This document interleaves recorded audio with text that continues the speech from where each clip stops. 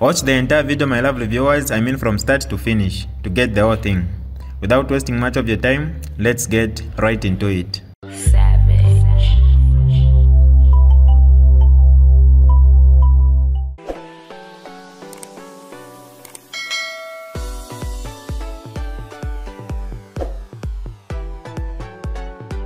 Hi lovely viewers, it's me again your one and only Mtati Mpundu. Welcome to my YouTube channel. If this is your first time on my channel, kindly subscribe to my YouTube channel by hitting the red subscribe button down below and turn the bell icon to join the notification squad. Don't forget to like, share and leave a comment. Tell me what you think about this video in the comment section below.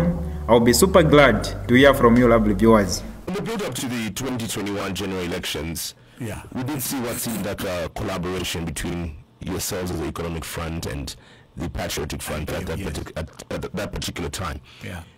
So does this mean that an opportunity still remains available for you to have a similar partnership with the ruling United Party for National Development? We, we, we, we, we haven't uh, reached that point. There is, uh, there is nothing that uh, has come up so far uh, in, the, in, in that direction. Okay?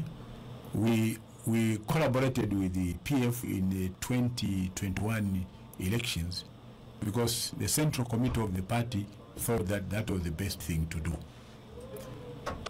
and uh, that memorandum of understanding expired at the end of those elections. So there's no partnership now between EF and PF or indeed any other political party. Do you get the collaboration leading up to the election? Not really. Not really. Chimweka, when when you make a decision in, in life, uh, you don't regret just because uh, things did not go your way or things did not go the way you expected them to go. I think that's a very negative approach to life. What you do is you take responsibility. If you failed, like we did, you draw lessons from that failure and then you say, with hindsight, I'll do it differently in future. So we drew lessons from that uh, uh, collaboration with the, the PF, and uh, we'll do it better in future. What do you make of the state of the the biggest opposition political party in the country, the PF, a party that you were once Secretary General of, and looking at the wrangles within the party now, the factions that have risen from it. What's your what's your take? If, if, if history is anything to go by, PF is finished, whether they like it or not, whether Edgar comes back or not, PF is finished. If, if history is anything to go by, PF is gone. Secondly, if they think that uh, what will sustain PF are, are court actions, wrong, then they don't know history of how political parties die. So my short answer is uh, PF is gone. They will be very lucky to redeem it from redeem it from this situation. They will be very lucky. So you don't think the rebranding process is anything that will yield any results? Uh, look, if we, if we, if we, you are a football team and uh, you are you are given an opportunity to to change the team at halftime, and you go into what do they call it, the change room, Mm, the dressing room. the dressing room. You go into the dressing room.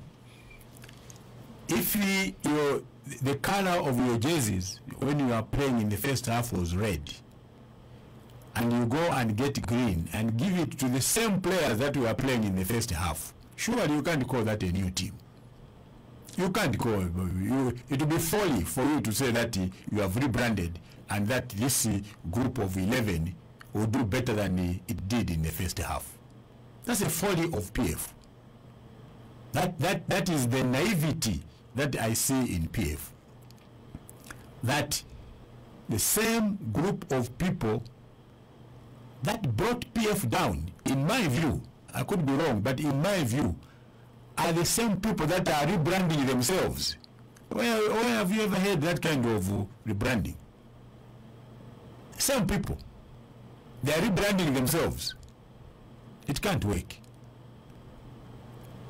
We've seen some, some members of uh, the Patriotic Front who have made defections, most of them making their defections to the Socialist Party. Others have advised them to just join other political parties, the Democratic, uh, uh, the, the Citizens First Party, beg your pardon, perhaps even the Economic Front. Are you, are you willing to open uh, your, your, your doors to the members of the Patriotic Front now in the process also of rebranding? Yes, but we are very strict. I'll tell you this. There is there is a, there is a caveat for you joining the EF. We are very strict in terms of who joins us, especially from PF, because we know most of the PF members. We know the characters that are indisciplined, and they have never changed over the years and we don't think that uh, they are coming to EF will add any value to our party. And that's why you see some of them do not even make an attempt to come to EF because they know I know them. So they can go to other political parties where uh, those political parties think, think that they are adding value, you know, to them. They will not come to the economic front because they themselves have not changed. They have not changed.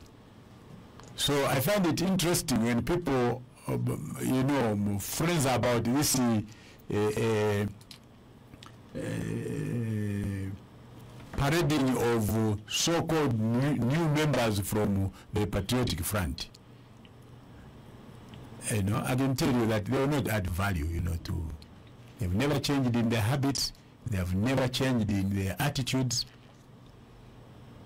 They still carry the same indiscipline, you know, they, they, they, they, they were used to, accustomed to in PF. So, the ones that are prepared to join us, and we have those that have joined us, the difference is that we don't parade them ourselves. And we don't call those people that come to our party from other political parties defectors. We, we think that's a very demeaning, that's a very demeaning term. We call them new members. Uh, but but still on the process of rebranding. Yeah. Despite the, these issues being um, in court, Mr. Miles Sampa insists that he's the legitimate president of the uh, Patriotic Front. Do you think he can make a good president of the party and with the members that he wants to work with going into 2026? Who are, who, from what we've seen so far, a number of them are different from those who served in government under the leadership of former President Edgar Lungu. I'll, I'll, I'll, I'll, not answer that question, but I'll answer it in this way. You know, my book will be coming out, you know, sometime this year. I've written a memoir, uh, and uh, if you if you get an opportunity to read my book, you'll find a paragraph or a chapter where I've expressed myself for what, what I think about Miles Sampa and the other leaders in PF, those that I worked with. So when can we expect this book to be out? Uh, It will, approximately? it will be out hopefully towards the end of this year. I have not spared anybody in that book, including myself. So it sounds like you've got a, a few things to say about Mr. Miles Sampa that maybe wouldn't, wouldn't be too pleasant for him. Certainly. That's my evaluation of him. That's my evaluation. So you don't hold, you don't hold him in high esteem. And uh, if you asked me, the answer is no. And, and I'm not the only one. That's why even Michael said the highest position he gave him was that of deputy minister. If he thought that Miles was uh, something better than that, uh, I'm sure I would have given him a cabinet uh, minister position. But the highest that he ever went was deputy minister. The highest that uh, uh, you know, um, Davis Mwina, who became, who later became Secretary General of uh, PF, the highest he went under Michael Sata, and had a lot of respect about Michael's judgment of uh, people's characters. He was deputy minister. Okay. Somebody, somebody, now that you have brought that up, somebody said to me, sent me a WhatsApp message and says, you know, why are you running with this uh, dry joke? You know that uh, the only role that Miles Sampa played during PF was to test, you know, the PA system and say, hello, hello, test one, two, one, two. You know, why are you? I said, but this is not even a dry joke. This is the truth. This is the truth.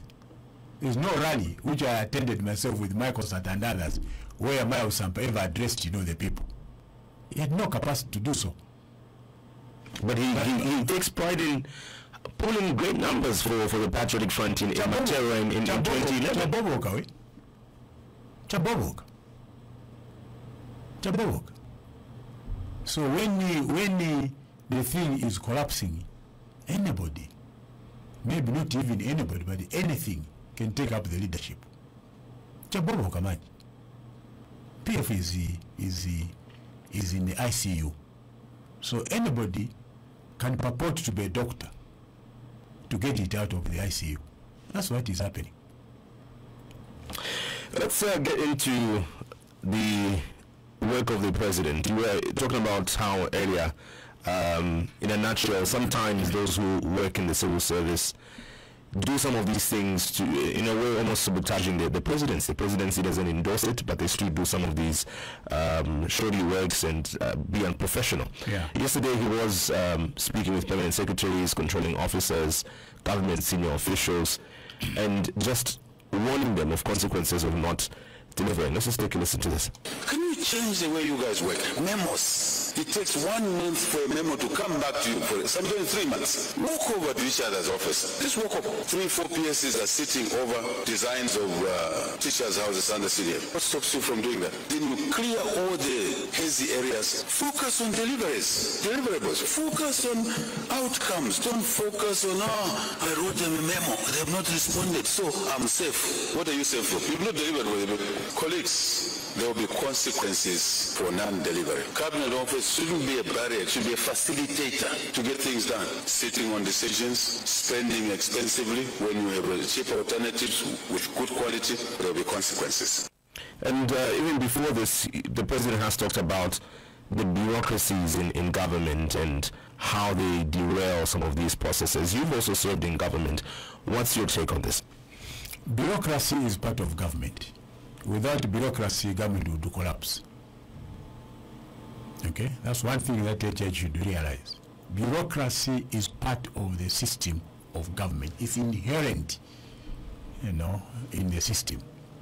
I think the issue is raising, in my view, is not even about democracy, it's about competency. And the problem that he has is that he has appointed people that have no experience in government administration. That's where the issue is, in my view. Not, not bureaucracy. Okay? The issue at stake is competency. That's the issue. And this spreads out, you know, in almost all institutions. Competence, lack of experience. If you don't know, you don't know. If you don't know, please learn to ask from those that you think know something about what you're about to do. Okay? That's all. So for me, I separate, you know, the two. I separate the two. Government works on memos. You must write. You must always communicate in writing. Not on WhatsApp. In writing. That's how government functions. Because the writing reflects the regulations under which you, you know you are making that decision. I always used to say when I was town clerk to my directors, if you write, you write a letter that is going outside or even an internal memo, the first question you should ask yourself is which rule or regulation supports this decision. If you find that you can't find a regulation, then that decision is illegal. Okay? So writing complements the regulations of government. I think the issue which I've seen with the UPND is lack of experience in government. That's where the problem is, in my view.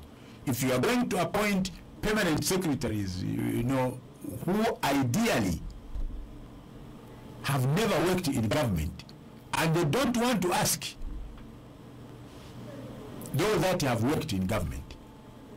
That's one of the things that I put in my book, that maybe we should have legislation, Chimweka, that says that uh, at the end of every administration, when we are transiting from one government to another government, there must be a, you know a piece of legislation that uh, obligates everybody to make a handover to the next group. That they do in the United States. We've got that between the outgoing president and the incoming president. We don't have that in the civil service. That is causing problems for us.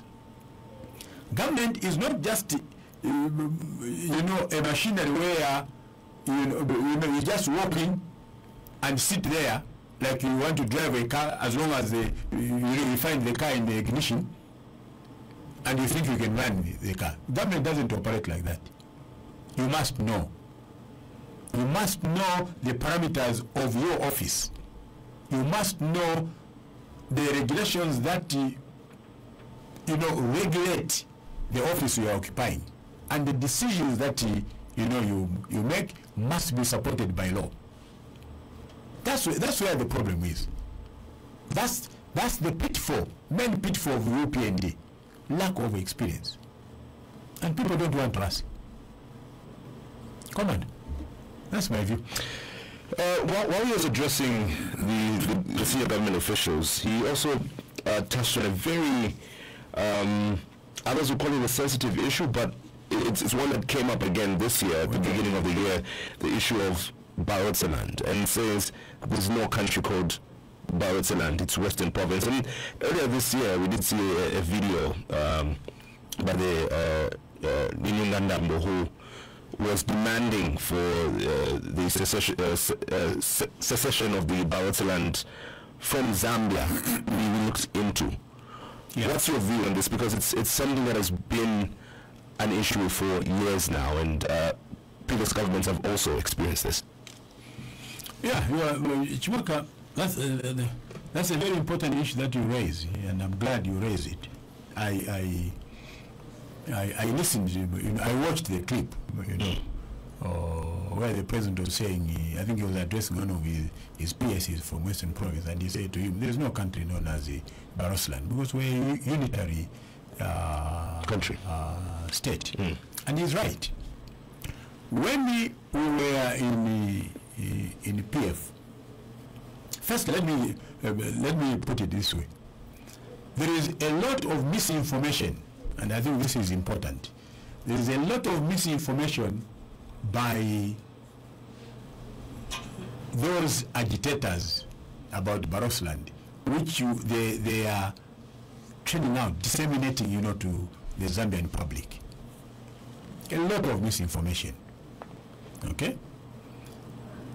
When, we, when you listen to this, this uh, you know, issue, the way they try to contextualize it, they put it as if uh, Kaunda duped, you know, the Lozis, eh, not even the Lozis, they duped the people of Western Province into coming into Zambia or joining Zambia at the time of independence. Okay? They actually misrepresent history. Now, I have discussed the Barotseland issue in my book. And here, in summary, are the facts.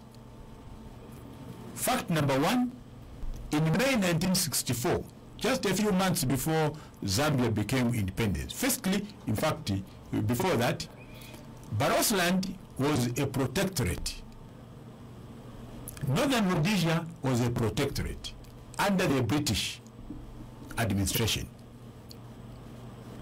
In May of 1964, there was an agreement that uh, the protectorate called Barotseland, which had a broader, broader geographical area than the Western Province today, must be part of uh, a new sovereign entity called Zambia. And Kaunda and then Tunga then in May of 1964 signed what is now called the Barotseland Agreement. It's a very small pamphlet. I'm exhibiting it in my book. Like it's going to be a very rich book. Yeah, but it's also, but also you must deep in your pocket you're going to get a copy. No, I'm joking. Anyway, so the the the, the Kaunda and the Litunga then signed the, signed this uh, Barotseland agreement. Okay, and there was no cohesion, there was no duress. It's not as if Kaunda acted like a crook to dupe the Litunga, because the Litunga was even more educated than Kaunda. Okay, so they signed the Barotseland agreement. In 1969, in 1969, uh, Kaunda introduces a constitutional amendment, number 5 of 1969, to Parliament, which Parliament was composed of MPs from Western Province then, or Barotseland. So he takes a constitutional amendment to Parliament to abrogate the Barotseland Agreement. And that constitutional amendment is passed by the legislature, a legal entity of the representative of the people. Third fact, in 1970, Kaunda introduces another amendment, which was amendment, you know, constitutional amendment number 44 of 1970, which changed the name now from Barotseland to Western Province. So all these steps taken by the UNIP government then were legal steps to which the representatives of Western Province were party. When you listen to the conversation from uh, those that are agitating, um, you know, um, the enforcement of the Barotseland um, ag- or the restoration of the Barotseland agreement, it's as if Kaunda just uh, did these things, you know, behind the, their back. Wrong. That's not the correct, you know, thing. Okay? So when Michael Sata was the president, I went to the president myself and I said to him, listen, we can resolve this problem very easily. And the way we resolve it, I said to President Sata, why don't we go for a referendum? Go for a referendum. Let the people of Western Province now choose. You can go and campaign. Let them let them decide. Free will, free determination. Because there was a letter at that time which we they had written again to the UN. Now the United Nations doesn't run the domestic affairs of countries. And I can tell you that if Sata had not died, would have resolved the Barotseland issue. So I was happy with the comment from HH when he said there is no country known as Barotseland. But also, I think the UPND government must do more and teach the Zambian people or churn out this information of how the Barotseland Agreement came about so that those that are agitating for this do not take advantage of the ignorance of, of, of our people. It's five minutes past 10 in the morning. Welcome back to Let the People Talk. Our guest is uh, the Economic Front President, Mr. Wynter Kabimba. And before the break, we discussed quite a number of issues. But before we open up the phone lines, um, two uh, very important subjects I'd love for us to touch on. Health, but before that, also the fight against corruption. One of the stories from yesterday into this morning is uh, of the Anti-Corruption Commission uh, nabbing the, Nam- the boss. Um, previously, just a few uh, days ago, we also heard of the uh, the, the, the, the, now former Foreign Affairs Minister, Mr. Stanley Kakubo, resigning, and the ACC also uh, looking into his his case. What's your general uh, conclusion of the fight against corruption in the country? uh, the the fight the fight against corruption has not been very. Uh, let me put it. It's, it's not that been as good as people expected. I mean, uh, UPND in in the opposition uh, went to town accusing PF about all sorts of uh, acts of corruption. Uh, we saw people in PF walk from uh, rags to riches within a very short period of time. We saw people in PF, you know, really uh, developing affluency beyond their means. Now, I served in government myself, and uh, I served in the local government uh, system for 15 years.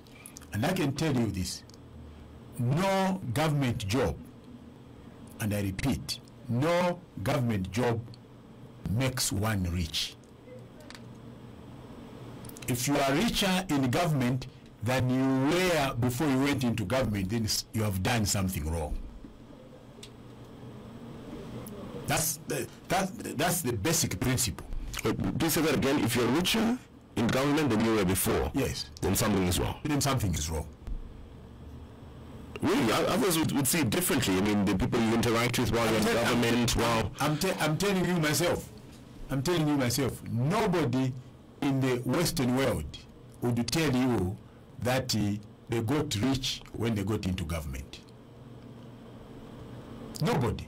Nobody in the United States, nobody in, in the UK, nobody in the Scandinavian, Scandinavian countries would tell you, would give you a testimony and say that uh, they were better off serving in government than they were in the private sector. Nobody. Nobody. Because government is purely about service. It's not about the personal accumulation. Now, here is my problem. Uh, just on that point, so before we move on, so even with with one having personal businesses, even before they, they, they got into government, but when they get into government and these businesses begin to do better, perhaps people want to um, get into business with those with the, with the businesses that, that have been established. But the mere fact that you are a in government, you are you are a trusted individual, and because of the goodwill that you have obtained by being in government, there is no possibility for businesses beginning to do well because of If, that. you, if, if you're a serious businessman, Chimweka, when you get into government with the, our businesses which are hands-on, your government will, um, uh, sorry, your business will get worse. You find your business in a worse situation when you come out of government. That's my experience. Okay? So anybody that is going to tell you that uh, they have bought uh, three farms out of their income in the government, they are lying. Something, there's something wrong or irregular which they have done. And I'm saying this because I served in government. Okay? And, and uh, in, in, as far as gifts and so on is, is concerned, while one is, is serving in government, How can, how can someone give you a gift, you know, to the extent that you can buy a farm? How can someone give you a gift to the extent that you can buy two Mercedes-Benz cars? That's not a gift. That's a bribe. What is it that you'd have done to somebody as a government officer, as a government permanent secretary, as a government uh, minister, where somebody would gift you with a Mercedes-Benz? That's not a gift. That's bribe. That's a bribe given to you. Okay? Now, here is my problem. For both the government and those that uh, are suspected of corruption. Many of our colleagues that were in PF, that are in PF or that served in the PF government today are being asked a simple question in my view. You have so many properties which you acquired during the period when you were a minister, for example. Can you please explain how you acquired the, these properties? How can that take you to retain five lawyers to represent you to give an explanation over that? I don't understand myself. If someone came to me and said, Mr. Kavimba, you have a house on Independence Avenue, can you please explain, you know, to the ACC how you acquired that house? I don't even need a lawyer. I don't even need a lawyer. I can I can simply go to court and say, here is my file, here is the offer from the council, here is you know the first installment that I paid, here is the second installment that I paid, here is the third installment that I paid, and here is the certificate of title transferring this property from the council to me. Simple explanation. So if you can't explain, if you can't explain how you acquired the, the property that you have, and you need to retain five lawyers to help you in that explanation, then there is something wrong that you have done. If that case has to take eh, 20 adjournments, then something is wrong with the system. Okay? A few weeks ago, we read a story that one PS has 3 million kwacha in his account. Story came from ACC. That's about three weeks ago, a month now. How can it take three weeks for the Anti-Corruption Commission to establish the fact that uh, the fact whether or not uh, that three million kwacha was properly acquired? They've got the bank account. They can go to the bank and trace that transaction. How can it take one month? For the ACC to establish whether or not there is an offense which has been committed. So there is a problem on both sides. Okay? I, I can't claim to be persecuted myself if all that the Anti-Corruption Commission is asking me how I acquired the property that I have. I can't, I can't claim persecution. That's the most, that's the simplest, you know, question for me to answer. I can't go and spend money on lawyers to establish that. That's the simplest explanation for me to offer under the sun. So, you don't grow from rags to riches in government. Immediately you do that, the red flag must be raised that there is something wrong that you have done.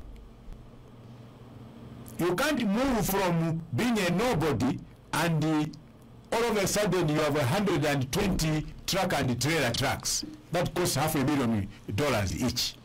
And, and you're saying it's absolutely not possible for your businesses to do well while you're serving in government? No.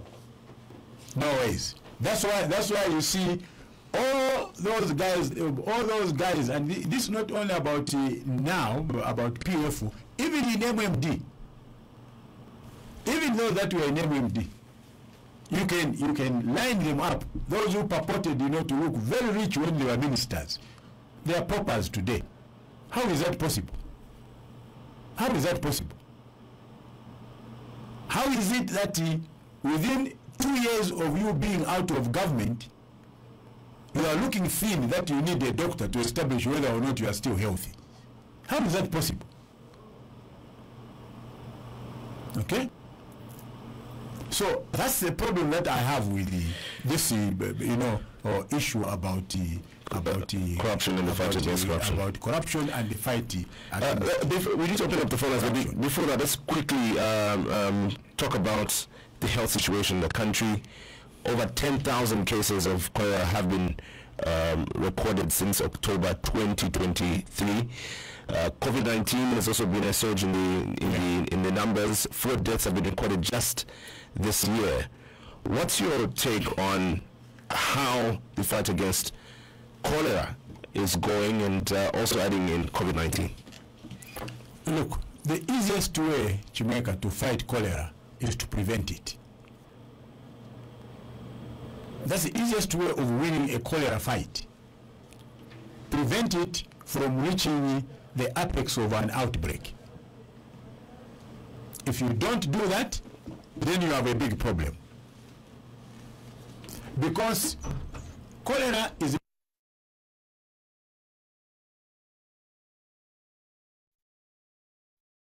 water, contaminated water especially. Now, Lusaka is surrounded by 25 informal settlements. Lusaka is quarantined by 25 informal settlements. Possibly more now. That's a figure that we had as Lusaka City Council when I was town clerk. Possibly more now.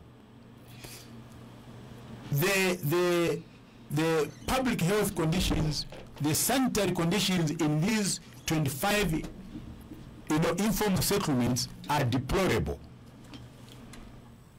to say the least. And the, the government should have been focusing by now not only this government, even the even the previous government, they should have been focusing on how to provide clean water to these informal settlements because cholera is a waterborne disease and would not reach the epidemics where we know of the figures where we are today. So you fight cholera now and probably win after having spent colossal amounts of money. We don't even plan as an African government how to deal with the calamities such as this one. That's why every time you know you have an outbreak like this, you have to run to the so-called donors and they start crying like small babies as a government. In fact, with that said, come and help us. With that said, would you advise that uh, uh, it's declared a public health emergency and, It is. and, and we seek help from, from uh, the external aid? It is. It is. But you see, one of the arguments that I've always held, you know, and and and and, and I still hold that view very firmly, is it is high time that we dealt with our own planning. This idea of running, you know, to the west, it's embarrassing. 59 years after independence, that you can't control cholera. Look at what happened during COVID this population would have been decimated. The African population would have been decimated because what happened? The guys in the West first discovered, you know, the the the, the, the vaccine, used it, you know, to serve their populations, and then after that, tunasala tuja twaku- tuja, they gave that to us. Can't we draw lessons eh, as Africans from these developments? Look at AIDS up to today, we are still dependent on the ARVs being donated to us. Up to today. I've never heard the Ministry of Finance pronounce in his budget presentation that so much money has been given, you know, to the Minister of Health to, to you know, to, to, to buy ARVs.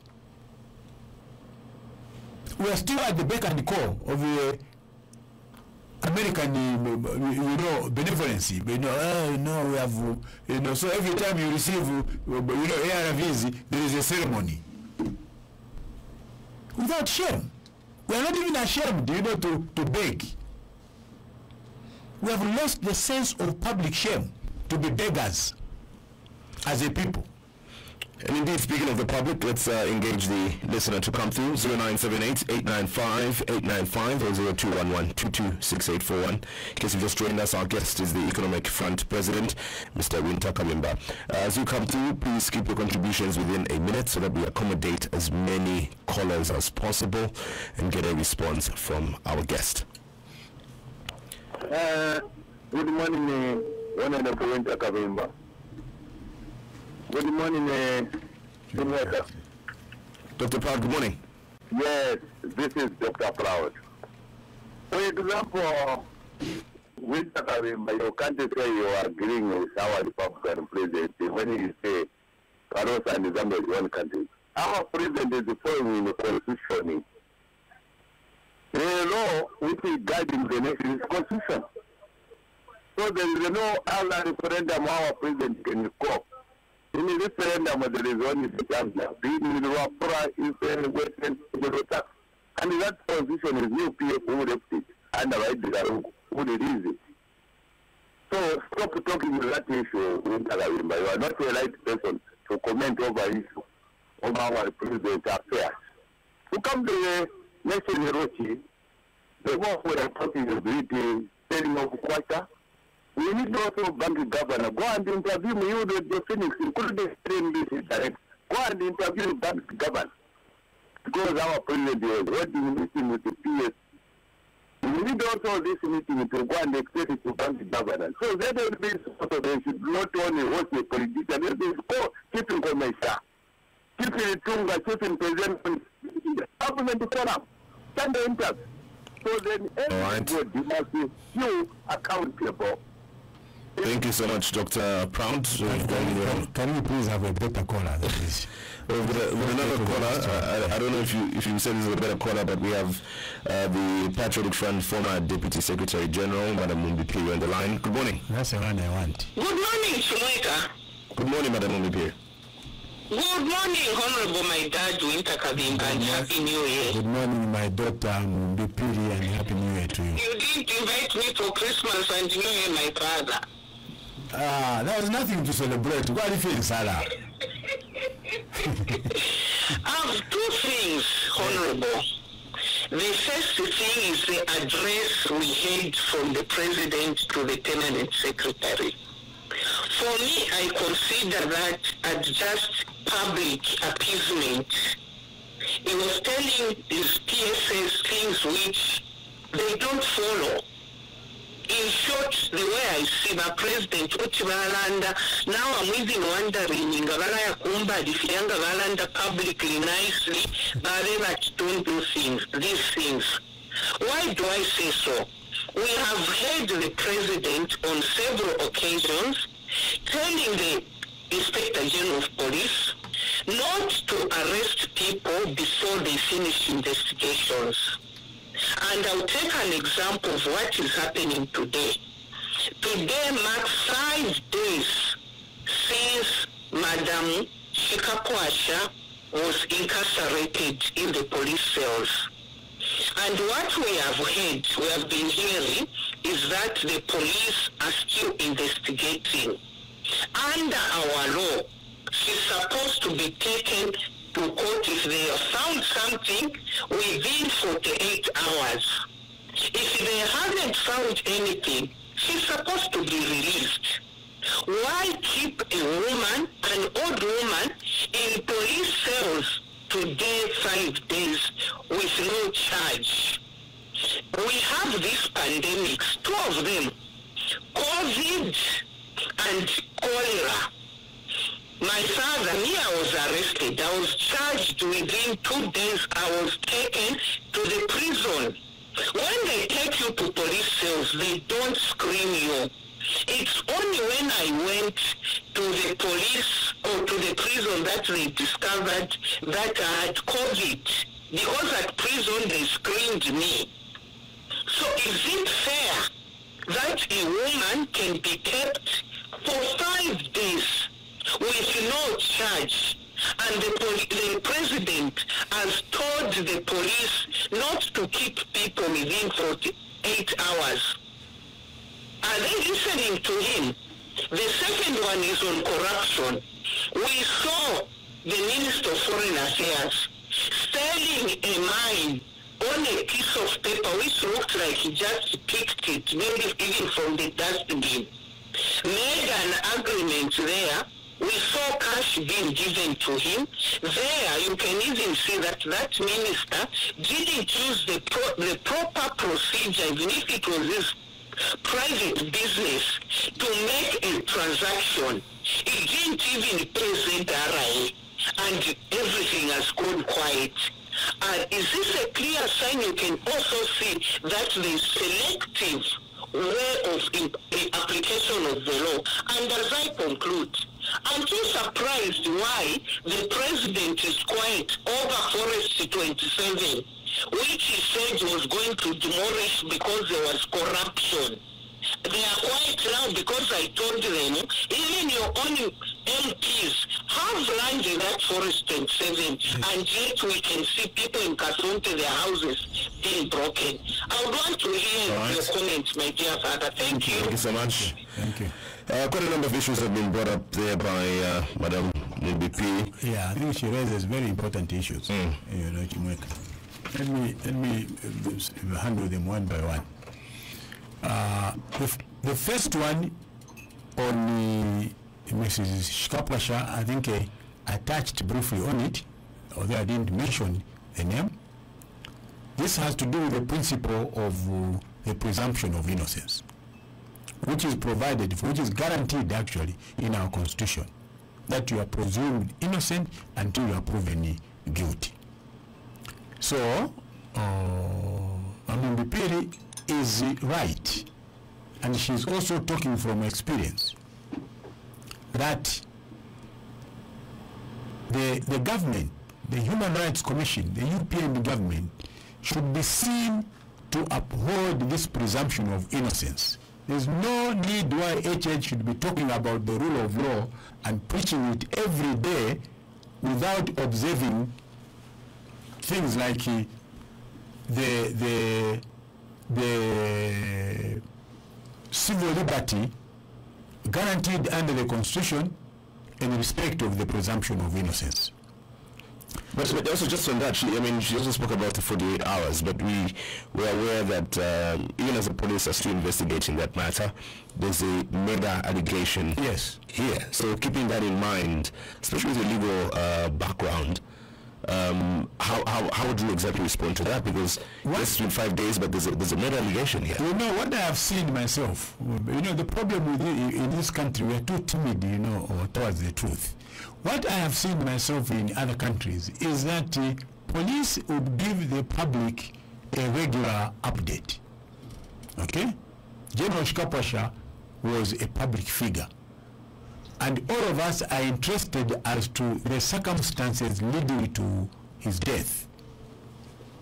So the police command by now or the minister of justice or the minister of home affairs should have given the country an update as to what circumstances you know they suspect to have led to the death of general Shikapwasha and once you do that the people then appreciate why the suspects are being kept beyond the prescribed 48 hours. That's what we see in other countries. What we are, what we are getting now, we're just getting, you know, bits and pieces of information from members of the family. Now, you don't even know where the truth lies. So I think the police would do a better job than they are doing by giving an update over this matter.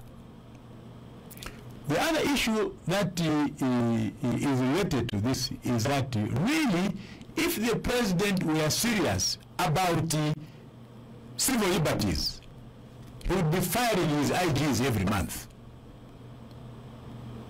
IG Musamba should have gone a long time ago if the president were to be serious about uh, uh, how this man is performing his job. And I think that's the point that uh, Mumbi Phiri is raising, which is a very valid point.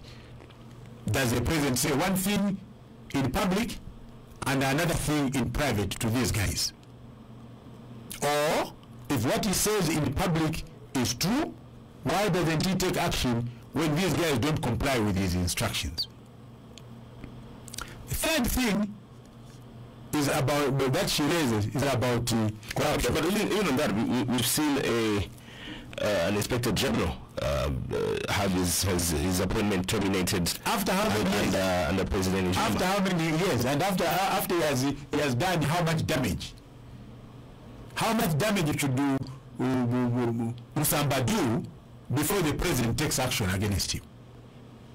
So you're saying immediately he notices something, he has to instantly You must dismiss. show him the door. You must show him the door. Okay? He doesn't have to wait until you know um, this groundswell, you know, of um, of of of of anger from the public drowns, you know, him. No, he must take action immediately. Is performing those functions on our behalf. Okay? The third thing that uh, Mumbi Phiri raises is uh, the issue of corruption. Now, I'm glad I didn't want to pick on the on the Mr. Stanley Kakubo. uh, Stanley Kakubozi. Firstly, I don't know the man. I've never met him. So, he's not my friend. I know him from the press as the foreign affairs minister, or I knew him. But let me say one thing, and I disagree with this very strongly. Kakubo's action was not corruption. Okay? What he did was not corruption. It was, of course, morally reprehensible for a leader in his position, but that was not corruption. Kaku was involved, and when Bipiri says, he puts it correctly, that he, was involved in a private transaction. Buyer and seller, a contractual transaction. The state didn't lose any money. The money that he received was not gratification. So the man was not involved in any act of corruption. And that's why it was difficult for the president to fire him. All that he had to do is ask him to resign on moral grounds. So for me, if you want to pick on Kakubo's case, no, that's, But- but- but if that's you- not a you- good example of corruption. Even that, it's not exactly clear that the president asked him to do so because from from from what uh, the statement was, the president only accepted the resignation of Mr. Kakubo. So that, that that could be just him out of his own right deciding to resign on moral grounds. No, the trend of events, uh, you know, um, uh, was that if he, if he, what he, uh, one of the uh, uh, media news circulations was correct, the headline was uh, uh, these Chinese, you know, what was the headline? The, the, the, the, the, Chinese demanding, you know, whatever from Kakubo. And then the subheading was that uh, the president had uh, summoned Kakubo to community house. So there was a discussion between the president and Kakubo before he resigned. And I said to myself, even before Kakubo's resignation, that I don't see the president firing this man. Because there's nothing wrong that he has done in terms of corruption. So I'm sure, and this is just conjecture, Kakubo must have said, but uh, Your Excellency, these guys, you know, I offered them my mine, they paid me part of the money, and then we disagreed, you know, and, uh, you know. So, the best I can do morally, let me just resign. And I think that was very honorable on his part. What surprised me was uh, a day or two later, there is a report that uh, ACC has gone to invade his house. Just to, just to sensationalize the whole thing. Okay? There's no corruption in Kakubo's case, as far as I'm concerned. Nothing. Uh, very briefly, uh, Forest 27 before we take in more calls. But I mean, BP also asked about uh, your, take on Forest 27. she, she is correct. There are too many. There are too many guilty people. There are too many sinners. In respect of Forest 27, they are both in PF and UPND. I remember my young brother Gary Nkombo, the Minister of Law Government and Housing, standing up on the floor of the House, debating very intelligently before they got into power.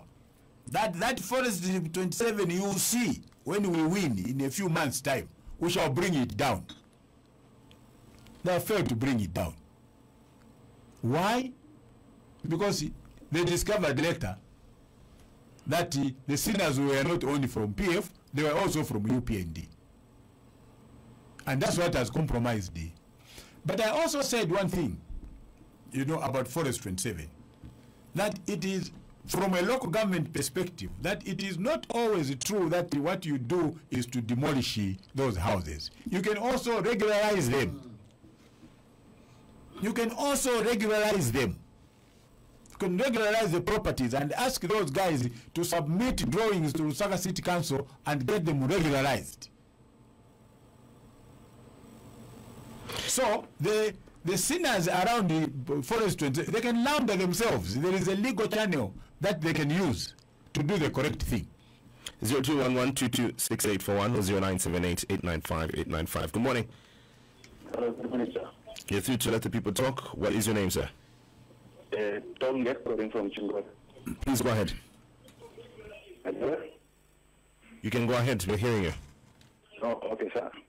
I want to make a comment on uh, Honorable Wynter Kabimba uh, on the Let the People Talk. He mentioned uh, a lot of issues, more especially on the issue of uh, corruption with the PF, without mentioning on the the UPND. So it's like he, the visit of Wynter Kabimba to the president. He did not visit that, uh, his visit was not to talk about the family issues. From the way he's speaking, you can even get something out of it that is now the hired gun of the government of UPND. Because there is no way a person who is an opposition uh, gunning down the opposition and defending the, the government in power when there are a lot of issues that are affecting the people of Zambia, more especially on the issue of corruption. Imagine the foreigners seeing the corruption that has been prevailing in the UPND, but the person who is also inspiring the, the position of uh, the president has failed to recognize the corruption that has been or that is occurring in the UPND. All right, thank you so much, Tonge. Let's take another call before we get the response from the guest. Good morning. Good morning, my brother Schmidt. How are you today? Good morning. I'm doing fine. This is uh, brother Chisha in Good morning, uh, President Kabimba. Good morning, sir. Um, we saw the pics on social media where you were invited to go to community house. Um, the way you are coming out, Mr. President, today, calling you PF to be in the ICU, is that really necessary? Because for you and PF, you are in opposition. Why is it that you are targeting PF so much?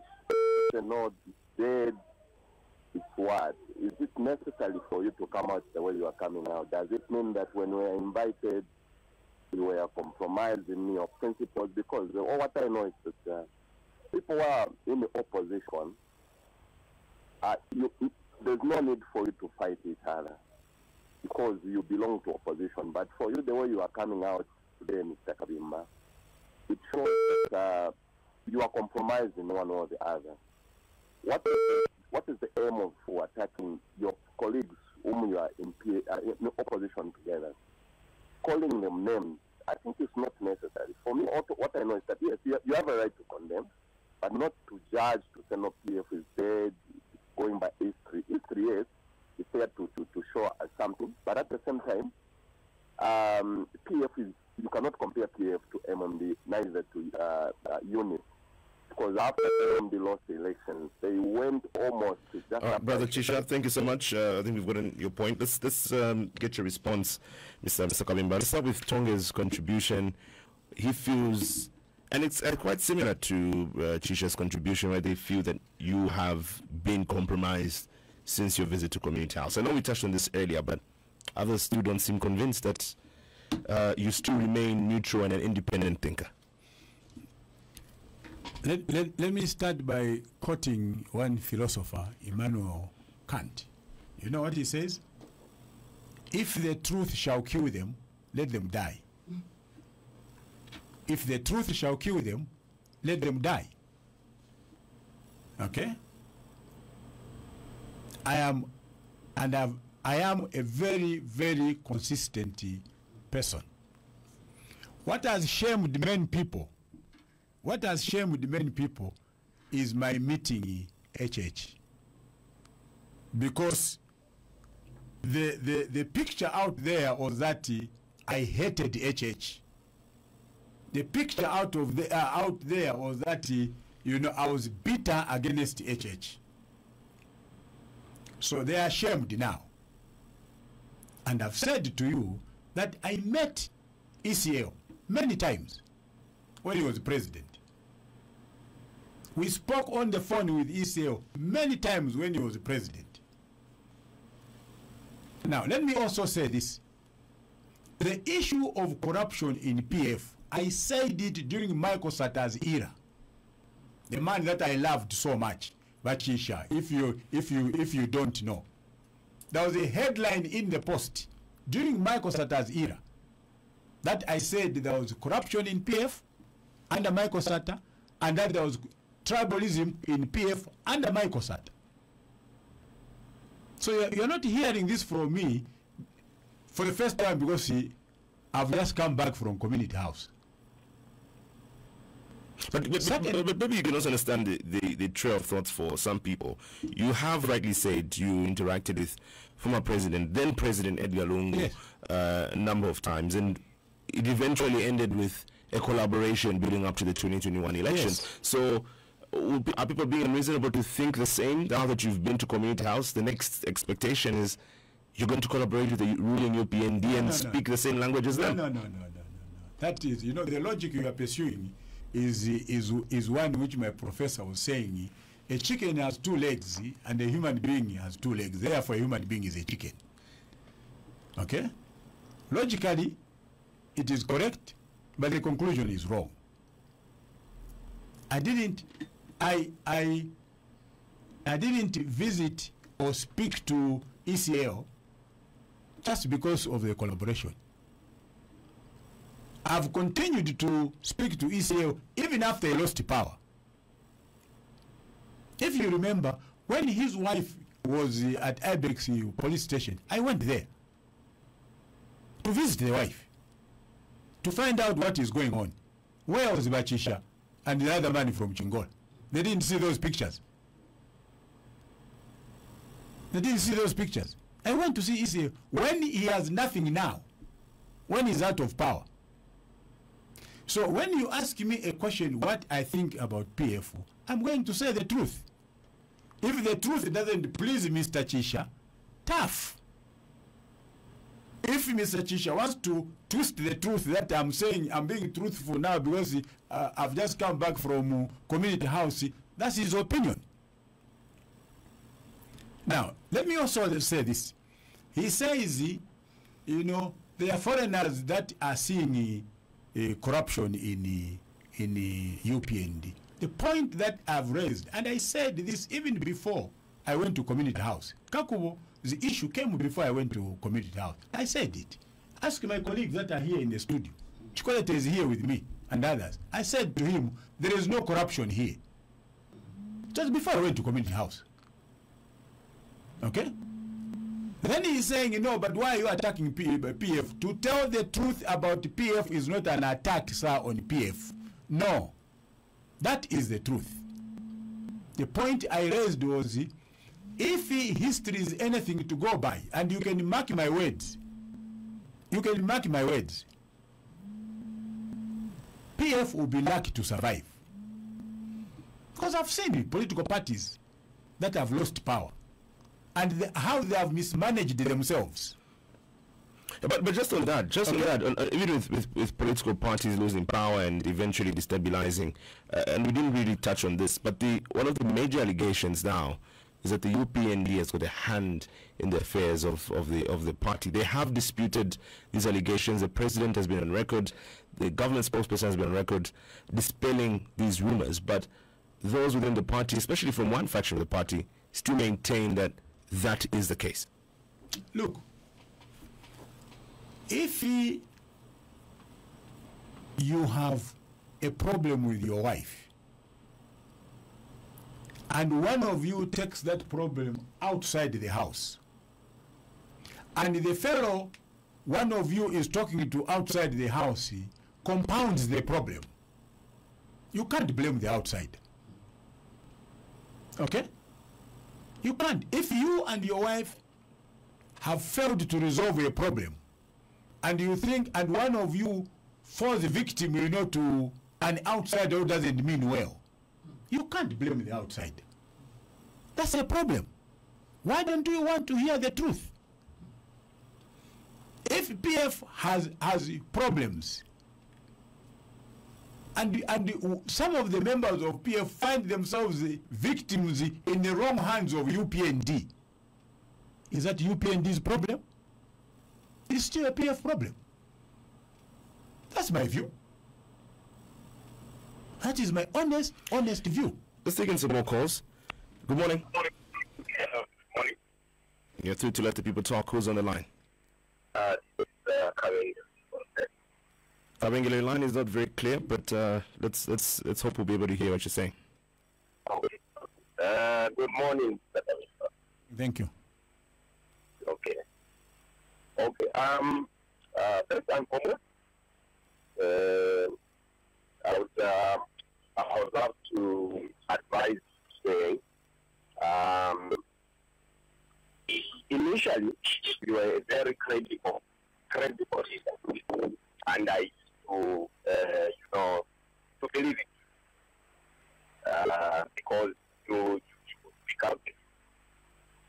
But this time around, perhaps you are now uh, joined the bandwagon of uh, uh, you know a team of politicians. Uh, to start with, um, earlier you, you mentioned you talked about uh, you know um, some public officers, uh, for instance, the police uh, IG may behave may be overzealous, like if you cited uh, an example of uh, what transpired uh, during the year of Iraq. But then you you you completely ignored that it is still the problem of leadership, the executive. Like you mentioned, ECL said it's just the overzealousy, and he called uh, the minister in charge, and that uh, minister in charge corrected the situation. That's the reason why uh, those police officers withdrew from your, uh, from your camp. However, again, you are contradicting yourself when it comes uh, to the issue of, uh, you know, President uh, uh, HH dealing with um, uh, who is uh, uh, the, the IG. Because it simply means if the IG can error and, um, you know, the president does nothing, or the Minister of, um, uh, you know, Home Affairs does nothing towards that, then they are actually approving of whatever the IG is doing. So Okay, we'll, we'll have to let uh, Commander go due to time. Let's take in the last uh, call here before we get the response. Remember to keep your contributions very brief. Good morning. Yes, good morning. How are you? Very well, Brother Morgan. Yes, uh, good morning, everybody, and good morning, the listeners, and good morning, uh, Comrade Wynter. Yes, very briefly, Uh, Mr. Morgan, please go Uh, ahead. let me uh, quickly point out that uh, uh, issue which has raised that uh, there is no Barotseland. Yes, we are still one Zambia, one nation, but it was there. Kaunda died. Why didn't you ask him? Because he was a, wit- a witness who signed that land. But it is one Zambia, one nation that we, don't want to divide the nation, but only one Zambia, one, one flag. You go to our west and find one, there's some Zambian flag which is there, but it was agreement. That's a fact. The lastly, Comrade Wynter Kabimba was, uh, uh, in terms of fighting cholera, he was a town clerk, Lusaka city clerk. How did you plan the Lusaka city, uh, the way drainages are today? Are you the one who caused it? Because you was a The, planning was on your hands. So we don't have drainages. We need proper drainages in the city. Because right now, go to town center, you find the flood is there. Town center, that near times of Zambia. How did you plan, guys? Thank you, Badrak.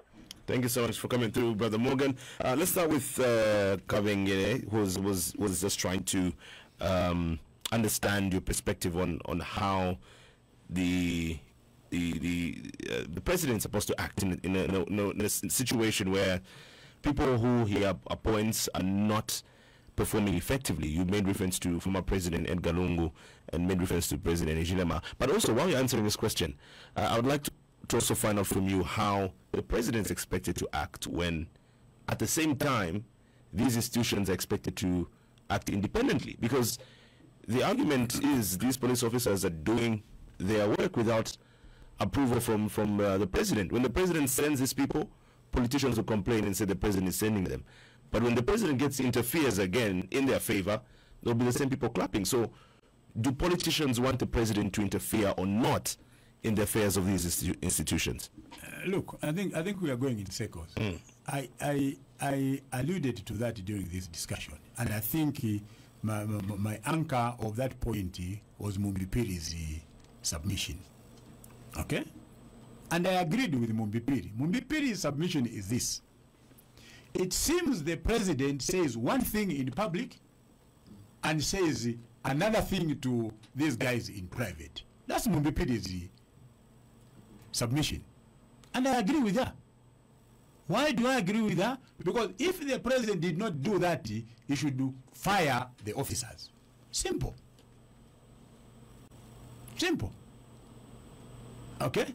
If the president thinks that the, the IG is not complying with his uh, directives, with his instructions, I said earlier, and the phrase I used was, uh, he must show him the door.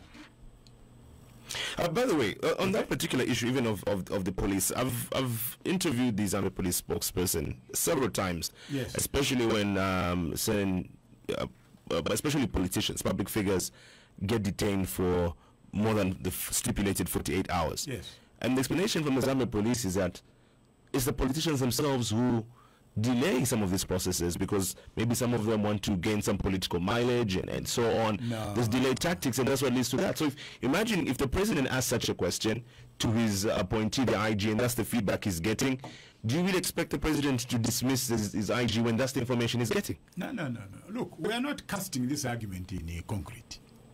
Okay? There, there could be different dimensions, you know, and the variables to uh, you know. um, But that explanation by the police is not correct. That explanation by the police is not correct. We, we have seen clear abuse of uh, the rights of uh, political party leaders in this country, deliberately so somebody will be arrested and you know what happens the arresting officer the one who picked him up just disappears. And then when you go there you are told no the dealing officers are people and there is nothing that we can do. Sometimes they give you ridiculous eh, bail conditions. That you know one of the sureties must be an employee of government. When they know very well that eh, very few people would be willing to come forward to step forward as a surety if they are working in the government because they are scared of retribution. Okay? That's that's it. So it is not true. The police spokesperson when you interview them they are economical with the truth. Now i want to get back to somebody who said uh, you've been uh, a critic you know of uh, and now you see nothing wrong with it no i still see everything wrong at the beginning of this discussion i said i made a statement right at the beginning when hh was so you know uh, flying high you know about this imf program when Situmbeko Musokotwane, you know, was promising heaven on earth about this IMF program, I said to them, it shall not work. And I've said it is not working up to today. So what else, you know, do you want me to say? What I don't do is to play the politics of insulting one another. I will not insult anybody in the opposition. I will not insult anybody in the UPND. And this has nothing to do with the community house visit. I think that the economy is in its doldrums. It is a runaway economy. It looks like HH, Musokotwane, the bank governor, have no idea how to manage this economy. That is the truth. But does that take away the truth, the, fact, the, does that take away, the, you know, from the fact that if you are asked to explain where you got, you, you got your money under PF, you should offer an explanation? No. Is that an attack? No. Chikwelete seated here next to me, you know. If they went to him and said, can you tell us, he has a farm in Mikango Barracks. If the ACC went to him and said, tell us how you acquired that farm, he doesn't need five lawyers to explain that. Just him and myself can explain that maybe plus his wife. Three of us. We can explain that. So what is this view that uh, if we talk about PF, therefore we are attacking PF? No. If people did wrong under PF, they must be held accountable. They can't, they can't be left free just because uh, this is opposition. And for me, if you are wrong, you are wrong whether I'm with you in the opposition or we are, you are in the UPND. Uh, and if you are right, you are right whether whether we are together in the opposition or you are in the UPND. And lastly, um, Mr. Morgan Chilonda called in and wanted to find out if you have any role to play in where we're at today uh, regarding the drainage systems with your background at the City Council. That's a good question. That's a good question. This has been a cumulative, you know, problem. Okay, Chukwalete is seated to my right here. He was mayor of Lusaka. Okay, and cholera has been uh, coming to this city over so many years. We dealt with it in 1988 when b- late President Rupia Banda was the senior governor of Lusaka. We were given money by government. The point I was making, Chimweka, is not dwelling on the past. The point I was making, walking into the future, is that if you want to fight cholera, put measures in, in place to prevent it. That's how you fight cholera. And I and and I've said, you know, that what we have, you know, uh, in Lusaka are 25 informal settlements surrounding this city, and all of them, you know, without any form of uh, sanitation services. That's what I've said. So my explanation is very simple. This goes to my brother, the Minister of Law, Government and Housing. If you want to prevent cholera in the future, deal with the, the you know, the the other thing which is very important. Uh, I was going to lose my, you know, thought over this, is that uh, this this is also as a result of the collapsed local government system. I watched the president saying that I've directed that all shallow wells should be buried, you know, around the Lusaka. How is he going to supervise that from the State House? How is the Minister of Local Government and Housing going to supervise that? Does the president know how many shallow wells are in Kamanga compound? Does he know how many shallow wells are in George compound? He doesn't. Who should know that? The councillors in those areas. Who, who works with those councillors? The Lusaka City Council. So if you want to fight cholera and any other epidemic in future, make sure that you revive your local government system. It can't be fought by the Minister of Health and the President and the Minister of Law Government and Housing. They are lying. It's not possible. Doesn't matter how many trips you know the president takes to the Heroes uh, uh, Stadium. It doesn't matter how many you know demonstrations the Minister of Health you know gives us about uh, administering a cholera vaccine. Get back and fix the local government system. Then uh, these public health epidemics will be brought under control. This is DJ Mutati exclusive. Alright, that's all for you today, lovely viewers. If you did enjoy the video, please don't forget to leave a comment in the comment section below. Tell me what you think about the video you just watched in the comment section below. I'll be super glad to hear from you, lovely viewers. Once again, I go by the name of Mutati Mpundu. I love you, peace. I gotta go.